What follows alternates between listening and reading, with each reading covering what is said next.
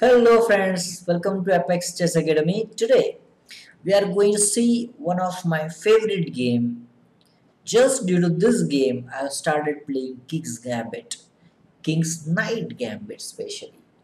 And my favorite player for this King's Gambit is none other than the leading player of the King's Gambit who has put lots of effort to to make this opening very popular okay it's Morphy okay so Morphy has played King's Gambit so many times in his career. Uh, but today's uh, variation basically was played by someone else. Uh, first against Morphy in 1858 and then uh, somehow Morphy was uh, able to win, able to survive against this variation.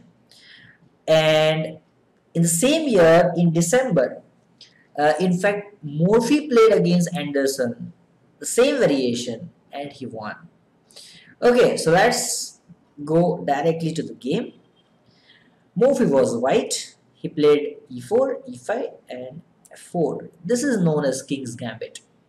So I played King's Gambit from 2006 to 2013 probably in my career. And uh, then I just switched some other openings like Italian, Scotch. But okay um, after ef4 this is known as King's Gambit accepted. And if you play bishop c5 or d5 which is known as King's Gambit decline. So after e into f4 knight f3 g5 and after g5 basically there are two variations. In 80s uh, basically this bishop 18th century basically this bishop c4 move uh, was very popular here. And after bishop c4 there are again two lines either bishop g7 or g4 and if someone plays g4 then people are used to play some crazy variations after short castle gf3 queen f3 and it's really fun to play this variation. Although the modern computer will simply refute it but practical point of view is still not easy. And uh, according to the database still white has a decent score probably around around 56% if I'm not wrong. Um, but here uh, this is just like a roll the dice if you play bishop c4 g4 and castle. Instead of that if you just want to play some solid stuff where you are just keeping something in your hand too. So I would just recommend to start with h4 rather than um, this bishop c4 so after h4 now g4 now knight e5 now here are a few moves like d6 h5 knight f6 knight, knight f6 which is the standard move. And here white played knight into g4 and it looks like okay after knight into e4 white is in trouble. Um, but here the preparation starts. Okay so if you're if you just want to uh, think here you can just pause the video and try to find out the best move as white okay so here it's d3 we are just attacking the knight and yes I know it's coming to g3 but we are just you know waiting okay so after just knight g3, we can play now. Guess what? Yes, boom, bishop into f4. Still we are taking the knight and it looks like okay we are just losing our rook but that's the part of the home preparation. Here there are basically two variations. Uh, one is just queen e7 check bishop e2 and now knight into h1 but still it's not over. Bishop g5 and after say queen e6 you can just give knight f6 check and of course king d8 is just a blunder because of knight d5 and knight is unmade so king e7 now knight d5 knight d5 check king d6 and it still looks like we are just a whole rook down and we cannot do anything but this position is still still plus for white here. You can just play c4 and it's a tremendous attack.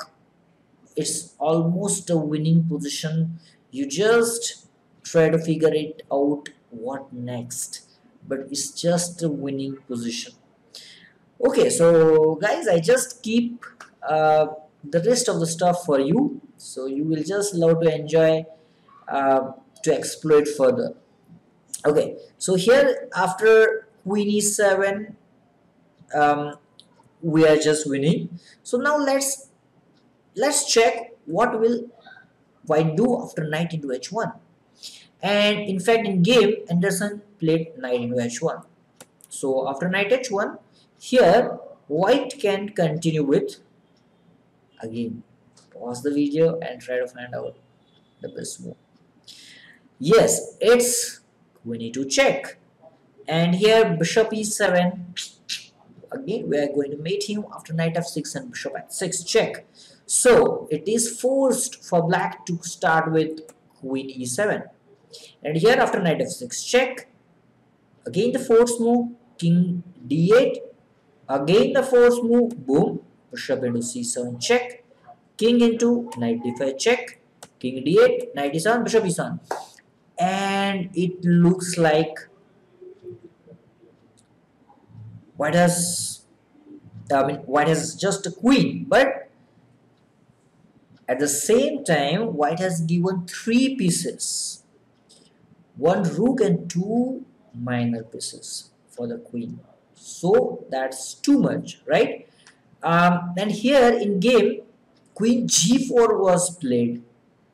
Um, and then uh, basically Morphy won after queen g4 d6 okay so what's the threat of queen g4 uh, just threat is to trap this knight with the move queen h3 uh, so here black is forced to play this d6 move and now after queen f4 black played rook g8 in order to uh, move his knight to g3 and here white played queen into f7 and here uh, black Anderssen played bishop into h4 check. But bishop h4 was just a bad move.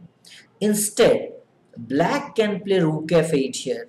And after queen into h7 just knight g3 and probably here black is more than fine. Even black will just start pressing white.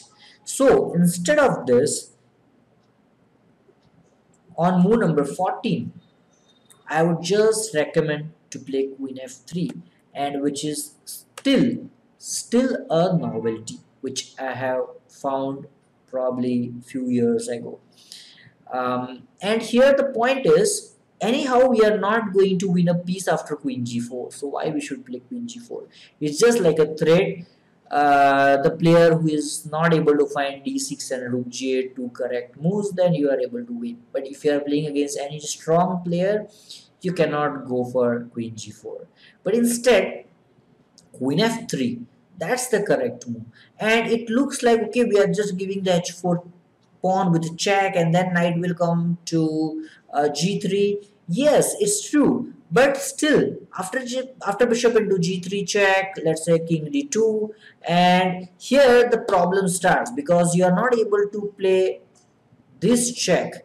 And now my idea will be just to trap this knight after g4 in future um, maybe I can just even consider queen g4 maybe queen f7 and at the same time I'm just planning knight a3 knight b4 the just try to uh, squeeze this king. This king cannot run to this c7 and our idea is just to play d4 maybe just bishop d3 bishop c4 and then probably rook into. And even if this knight comes to g3 that looks too difficult because still we have some moves like uh, queen f4 at some point.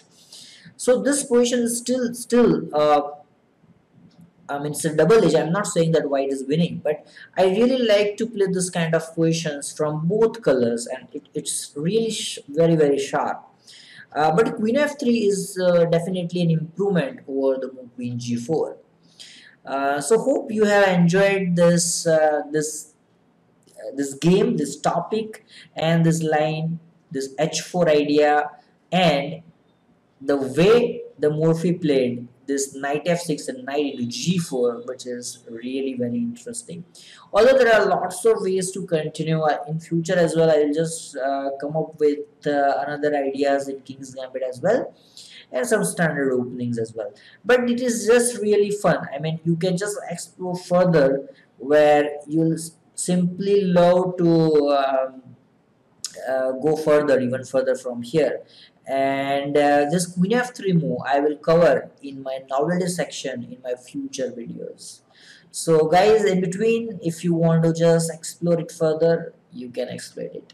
Thank you friends. Stay tuned for my future videos